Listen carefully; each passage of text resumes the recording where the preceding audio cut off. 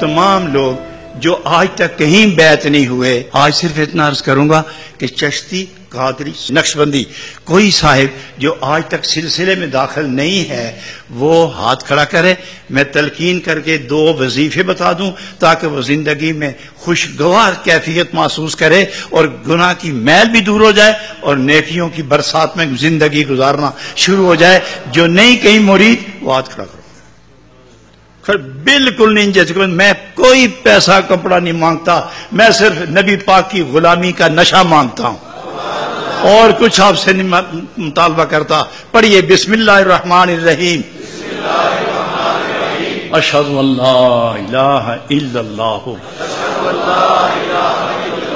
वहदहू ला शरीक लहू। व अशद अन्न मोहम्मदन।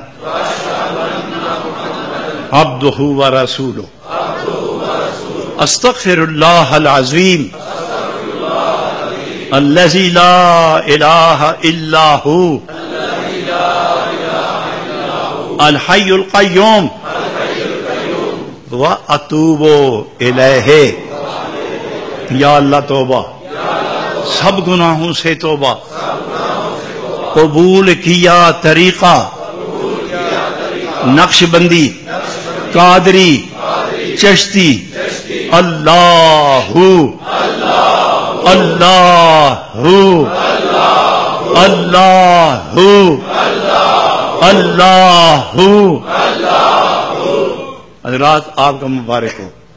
हर नमाज़ के बाद मुख्तसर वजीफा, ग्यारह बार द्रुशीफ ग्यारह बार कुल ग्यारह बार इस्तफार ये पढ़ लिया करें, सीने पे फूंक के दुआ मांग के उठा करें।